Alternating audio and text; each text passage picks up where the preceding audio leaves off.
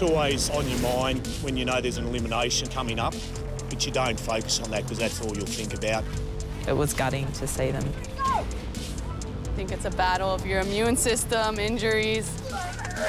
Obviously, we're the only team that has had all six, like, ready to do every single one. Who will win the Photonis Ultimate Forces Challenge?